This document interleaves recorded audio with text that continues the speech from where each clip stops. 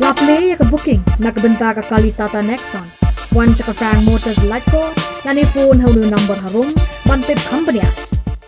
Wemily kaliang persya naga Voice of the People Party VPP uba Aden Miller basayomait ulaong บากลังจึงเป็นเคนยาการันคินโดกับมิกาเลียทรานสเฟอร์ฟแลนด์เรกูเลชันแอคเชื่อใจคันได้สปะนิวพูอาร์กับบริกาอันกับบักขังยี่กิบริโอนบาร์กจัลลาบันทีจักาอักนิกจัลลาปัดบรรับกับสุรการกับลับเป็นตลอดยากนิกาอันฮับวันรายก resolution ฮับพวกยิงดอร์บาร์มันตากสิงห์ไปเลย Wemily na nong krem ula pen pau ye jing ngok ya na mar ke jing sha pen ken ka an kendo jong jela. Bat ula ong bakarai jong ka sorkar pakan a jaka do point not way akar a new cheki officer is ka de jing pen ken ya ka Meghalaya Transfer of Land Regulation Act chejar kandai spa nyobu ar. Ula ong bahaka kandai trik unailar jong ka snem ar hajar nyo ka kunhun menteri ka lashim ya ka rai ban ai jaka. Ya ki IAS officer ki bamde nakani ka jila shaniu shalong township pat hagate ka por u menteri ka tanat pinroi sor. Ula munjur ban ai jaka do sausan point not iwe akar shaka civil service officers cooperative housing society. Daga pasiu tang khat khandai lak khandru pho hajan rus pa lai pun ruting ka bamut la khenya ka dor ha ka shi square foot ka shong dor tang kum ba shi ting ka. Uba aden ula ong shu shu ba dang kala don gijing persang ban pen ken biang ya ka land transfer act. Ha ka ba kala don gijing turwa na preng ki ka sarkar jala बंसा एक doctor बनासबार Jung जला बंथे जका हम घाले बंदुपला बनपिन bag एक जिंगदुना की specialist doctor बनपिनरा बगने कनरंग जिंगमा बट अम दे सत्या द लेले रु बंसा उलोंग बागी डोन शिबुन की जका बट खंडो की बला आय शकी बे कितना ट्रेकम का सरकार इंडिया का बकन थोप ये का खंडो शनेहू नेग्रिम्स आईसीएआर एयरपोर्ट की शिपाई बट की कारखाना but na kini ki jing ai ka khndo ka jala ka khlam yo kini ki jaka ki ban pyang yi ki ban bsu khle ham hamigalia wemeli khliang parsha ratheru ya ga jingdi jaka hapokrat marwet haribohai district ba la donkti da usiem garaj but u ong ayu ka sarkar kalle, le ya kini ki jing ya an haba pencai halo kini ke pang bala wanra duba arden.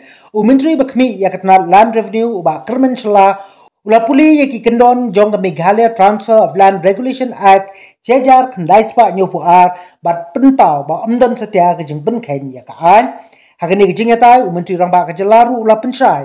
Baka sorkar ka rinti ya ka an an rengkat ke jingbut ya ki hukum jo ke ying bisa balada don ki balap ba ka dong ke jing penken ya ka an ki la ban budui sa ke ying ban benda pa ka sorkar kan chim kharu ya ka mat ka bala wanra du MLA ka liang persya na kaliang uba ardan uba mohon ya ke juba ba ke jing ula kentai ban beng ya ke resolution. Ka bala plong ya lampang ban snap no ya ke sur ki babun hapo ka yeng bat babun ke la penpau ba kim kersan ya kani ke resolution. Uh, so uh, i would like to thank the honorable minister for his reply and uh, there are certain issues that i flagged during my submission sir and that is the the purchase of land by other tribals, which is very rampant, especially as I've mentioned, in the southern part of the state. And because, you know, sir, human nature, human nature, they will try to find a loopholes. So what they are trying to do, because I have also brought to the notice of this, this House the observation of the Supreme Court as far as the rights of other tribal in, from one state in another state. So, which is clear that no other tribal from other uh, state can uh, uh, get the benefit in terms of lands or any other benefits that the tribal of Meghalaya, pertaining to Meghalaya, are getting. So, so, since this is rampant, so may I request if the government can consider, because there is a loophole that these other tribals, they are trying to purchase land by way of getting a PRC, by way of getting a PRC to prove that they are the permanent residents of Meghalaya. So it is very easy, sir, to get a PRC in Meghalaya. I have here with me the application form when uh, anyone would like to get a PRC in the state of Nagaland. There are many particulars that the applicants will have to fill in this three pages form. Whereas in Meghalaya, they need only, through the office of DC Deputy Commissioner, only one page where only two passport size of photographs, birth certificates, uh, residential proof, like EPIC ration, certificates of all institutions. And there's no mention here about the role of the village Dorbar. But when it comes to the application for PRC in Nagaland, it is, seems to be more stricter than, the, than Meghalaya. So, sir, I think if we can uh, block this loophole, we can prevent the alienation of land in our state to uh, other tribal coming from other states.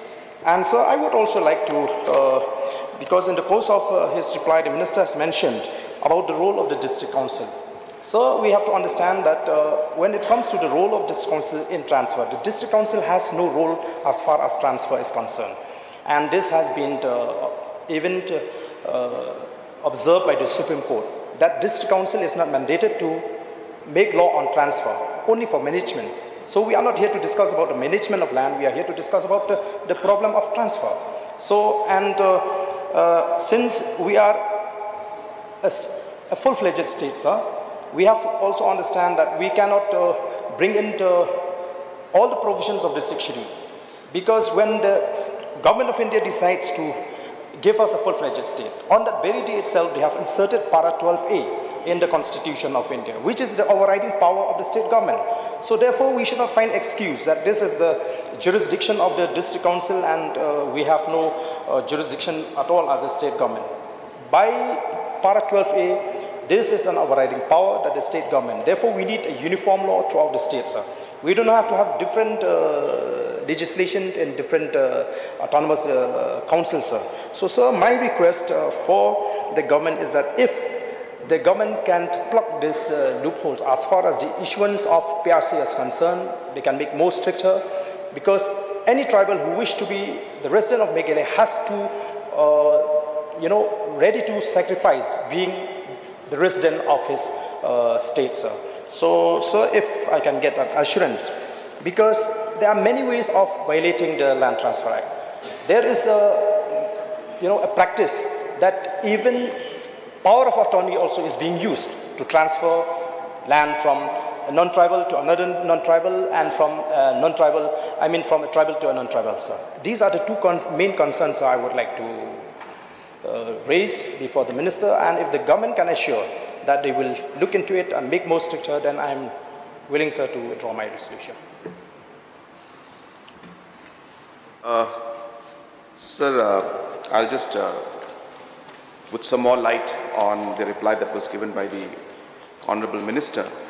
Uh, so first, uh, I just want to just stress on the fact that the Honorable Member has been mentioning about violation of the of the Act, sir. So, so what we are stressing on in our reply is that uh, there is no violation of the Act as such because uh, any violation of any Act, so the constitutional provisions are there for the judiciary to be approached. So therefore, uh, violation as per se of the Act and the provisions of the Act are not there. People have used different provisions for different uh, ways and means, that's a different issue. But the, but the violation in itself of the Act is not there. Uh, and I'm not saying that it's been done. Uh, I'm just referring to the honorable member's uh, statement which he mentioned. So therefore, sir, I think first thing we need to clear that, uh, that the act itself is not being violated. Provisions are there and based on those provisions, different purposes have been served, whether it's the education issues or industries issues, all in all cases where uh, there has been an issue of a non-tribal or uh, any organization coming in, it is based on the provisions which is very much in the act whether through the original act or through the amendment. So that's the first part. So second part is uh, regarding uh, ensuring that uh, these uh, entire issue of uh, uh, the PRC that has to come in. sir, we are all of, aware, sir, for the purpose of land as such, so the PRC is not uh, a document that is used. It is more, PRC is more for uh, issues like education, in all these areas the PRC is used. Of course, they may ask for the certificates and all, those details are not with me as of now. Uh, but for purchase and sale of land is not done. Uh, PRC is not uh, uh, as such a, a document and is not really applicable in that line. But, sir, I think the concerns that he is raising, concerns, sir, we have noted, sir.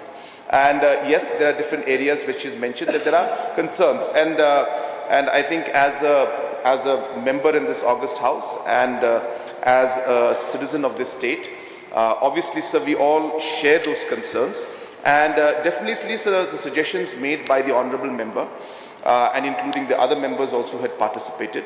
So we will uh, note all of that down. We will examine all these areas, uh, whether PRC is the right way to do it or whether we have to see the definitions in the uh, thing. So we can examine all those matters. But as I said, from the primary resolution that was passed, as I said, I would like to stress again that there's no uh, question of any violation of the Act. But as I said, uh, the suggestions made by the Honourable Member concerns have definitely been noted. Uh, we are also all, obviously all concerned about uh, issues when it comes to the rights of the, of the tribals of our state. And uh, definitely, sir, we will examine all those matters as mentioned and find the best way uh, possible on how we could move forward in these issues, sir. So, may I know the mind of the mover, please? So, um, I think I stand by what I've stated in this, this house, sir, that there is a violation. Uh, I don't know why the government is in a denial mode. So many people are purchasing land in Ribhoi district. Those who are not supposed, you know, to be covered by the Land Transfer Act. And I have, I have a copy with me also. These are the people who have purchased land. So many people who have purchased land. So therefore, there is a violation of this Meghalaya Transfer of Land uh, Regulation Act. I don't say that the government is violating what the people, the people, you know, how can they purchase land when they are not a tribal pertaining to Meghalaya? And that is rampant in Ribhoi district. So I stand by what I've uh, stated, sir. But uh, I also like to express my thanks to the government for willing to uh, examine the points that I've raised. So, sir, therefore, to say that there is no violation of land, uh, violation of land transfer act in Meghalaya is, I think, is ill-informed, is not correct, sir, on the part of the government. There is, sir. I have copy with me also. I can even provide uh, this uh, copy to the government, sir. So, you are withdrawing or? I want to hear from them. Uh, uh, sir, I have uh, uh, just like to read the provisions uh, in the Act itself, where it defines uh, tribal. Uh, it means a person belonging to any of the scheduled tribes pertaining to Meghalaya, as mentioned rightly, and as specified in the Constitution Scheduled Tribes Order 1950. And hence, sir, it is based on this particular definition that are there. But as I said, sir, the, the lands that have been transferred uh, as per the uh, provisions that are there in the Act itself, under those circumstances, I'm saying the violation is not there. Because, sir, if the violations are there, obviously, sir, for any violation that happens, the court and the judiciary is there where any uh, citizen can go and seek justice saying that this particular law has been violated. And hence, uh, uh, this kind of uh, case uh, we have not seen and in any of the situations where cases have been put forward. Uh, in those cases, uh, you know, the, the uh, court has given orders and wherever the court has given orders, the state government has then implemented those orders based on the court order. So I'm saying it from a pure judiciary and constitutional and the law point of view, sir. Whether the, uh, the principle or the purpose of the act is not being implemented and concerns being there, sir, yes. I, I'm not trying to uh, say that there are no concerns, but purely from the act point of view and violation point of view, because if there were violations, sir, any individual is free to go to the court is what I'm saying. But nonetheless, sir, the, the, that, I just want to clarify that part. So therefore, if there are any concerns like this, sir, everybody is free to go to the court and, uh, and the court, obviously, whatever verdict the court gives, uh, it will be implemented. But to look into it and examine on how we could uh, strengthen it or change things, that's a separate subject, sir. So therefore, that part, as I said, we will definitely examine that matter, sir. But my stand in the point of violation is not in terms of the principle or the purpose violation, but in terms of the legal violation and the constitutional provisions and the, uh, uh, the provision of the act that is there. In that terms, sir, the violation is not there because the procedure has been followed. Otherwise, court would have come in. Anybody would have gone for a you know a court case, and there would have been uh, an order from the court. So, from that point of view. But from the principle and the purpose point of view, sir, uh, as I said, the concerns that he has raised uh, are there, and we will definitely, sir, examine this and uh, figure out how we should move forward. Sir. Sir, uh, I'm still not satisfied as far as those, uh, since I've raised these issues specifically for those people who have purchased land in Ribhoi district. So what will the government do? Because the definition itself explained about the tribal pertaining to Meghalaya. And it is this very definition that some people are trying to misinterpret. You know, by citing that any tribal which is there in the tribal list of 1950. But the act itself speaks about the tribal pertaining to Meghalaya, which means only the Khasis, Garos, uh, Kashri and Rabhas has access. So, sir, what will the government do in order to prevent, to stop that uh, the purchasing of land in the Ribhoi area?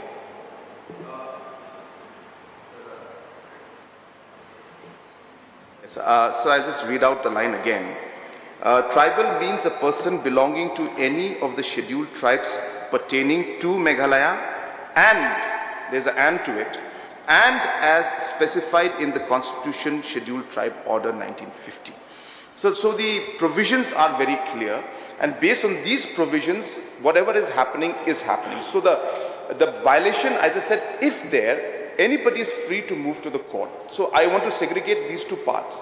So violations, sir, as per the provisions in the Act as of now, uh, are not there. There's no violation. Otherwise, as I said, if there is violation, please can move to the court and court can take. Regarding reviewing it and looking into it and examining the whole purpose, I've said that I will definitely examine the matter and see what are the areas that are there and look back into it. But that is not part of this uh, uh, resolution as such because it's talking about the current Land Transfer Act. Uh, you know, if the resolution had mentioned specifically that amendments and the, you know this resolution uh, resolves to amend the act in this this this this this manner, then we could have discussed that aspect. But as I said, the violation. So I'm trying to be very very particular with the words that have been mentioned. I am not saying no to the examinations. We will definitely examine. We have noted the concerns and we will see how to move forward. But whatever has been done right now, sir, is as per the provisions that are laid down in the Land Transfer Act, sir. So, so I think when we read about uh, the provision of the law, we have to also understand that we have to need, we need to read between the lines. We need to read between the lines. When the, the definition about the tribal means a tribal belonging to any of the scheduled tribes pertaining to Meghalaya, then who are the tribes pertaining to Meghalaya? And as specified in the Constitution. Yeah, and I will come to that. And specified.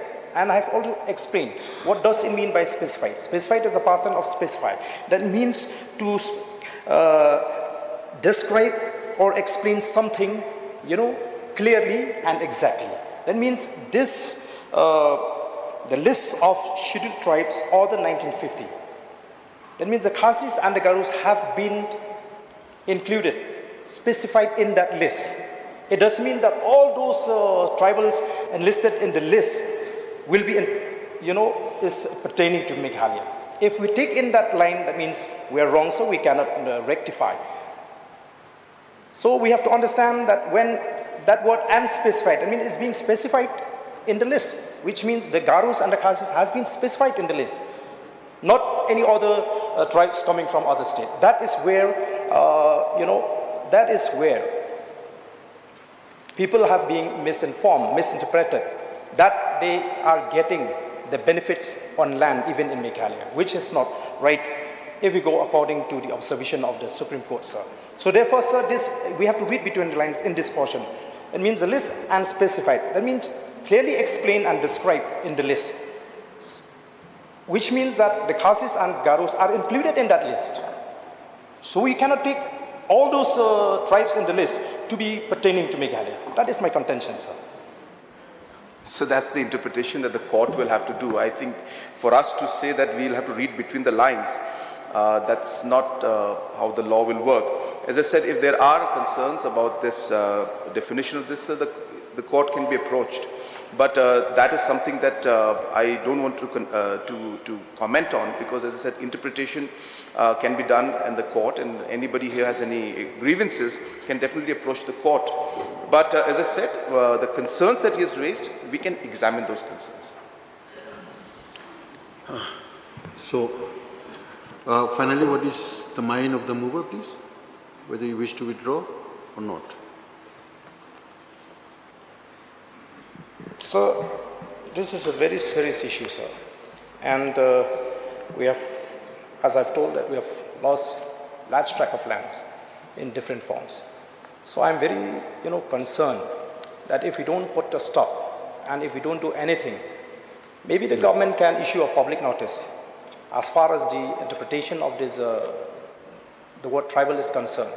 So I'm not, uh, say, sir, satisfied, so therefore, sir, I beg not to withdraw. Okay. Since the mover has not withdrawn his resolution, I will put the question before the House. The question is that those who are for the resolution say aye. Those against say no. The noes have it, the noes have it, and the resolution is lost.